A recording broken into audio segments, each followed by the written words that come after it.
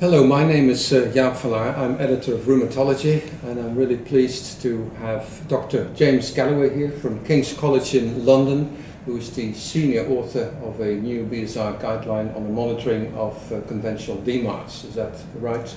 Good, and thank you very much for uh, inviting me to come and talk to you. Yes. Um, so this is essentially an upgrade of an older guideline, and um, so the question really arises: Why um, was it necessary to update this guideline?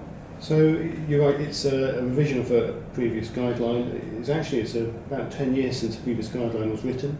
We've had a number of new drugs that have come out in that time, uh, most recently apremilast, and some of the older drugs like penicillamine are no longer used.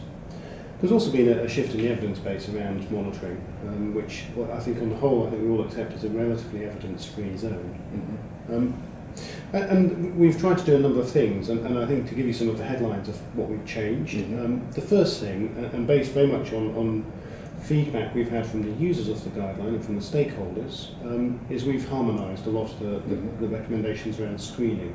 So, for example, all the drugs that require laboratory monitoring screening, mm-hmm. with very few exceptions, we have recommended a common monitoring protocol. So, when you start a drug, to do a fortnightly blood test um, for the first until they've been stable for six weeks, mm-hmm. then monthly out to six months, and then quarterly thereafter. And we have, and while there are some some small caveats, that is essentially a one size fits all approach, and we realised the, the, the historic protocol was confusing, particularly in, in use in primary care. Right.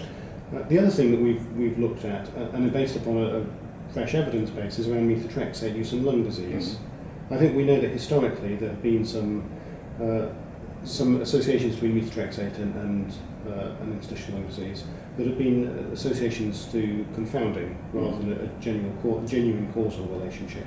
Right. Two fantastic meta-analyses were published in the last couple of years, uh, and really suggesting that in um, since about 2000, when there have been diagnostic classification criteria for drug-induced lung diseases, and we've had access access to HRCT. Mm-hmm. Um, the, the evidence that methotrexate is associated with disease has really been taken away. Certainly, whilst it can cause an acute pneumonitis, very rarely, chronic progressive lung disease with methotrexate seems to have disappeared as an entity. Right. Um, so the new recommendations have said that ILD per se is not a contraindication okay. to any of the DMARDs. Right.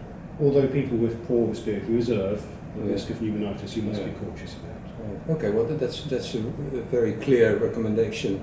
And how about uh, hydroxychloroquine? That's always a, yes, a matter of debate, right? Um, yes, maybe I should have hoped you wouldn't ask me about that because that is undoubtedly it is a change and it's probably one of the more controversial bits. Mm. We, have recommended that for someone starting hydroxychloroquine, there should be formal baseline assessment of the retina, so not a Amsler grid, mm. not just visual acuity, but um, ideally. Mm OCT, which is essentially a scan of the back of the eye, a retinal scan, mm-hmm. um, which measures retinal thickness.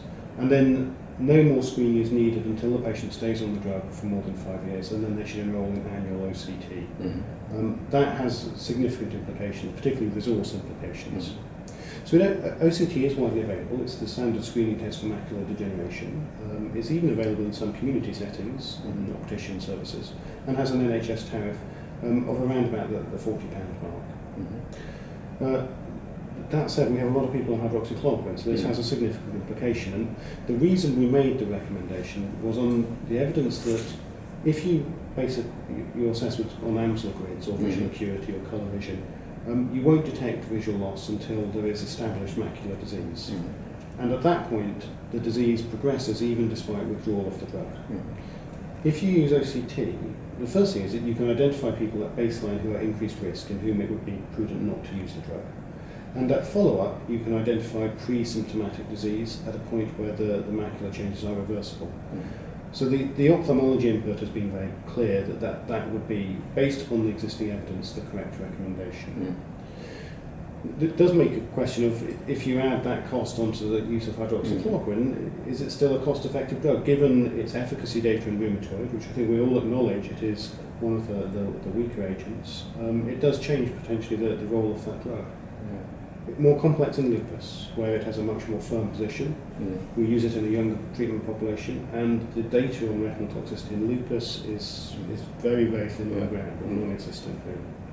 And I I think it's crying out for research in that area to, inform Mm. next edition of the guidelines. Yeah, yeah.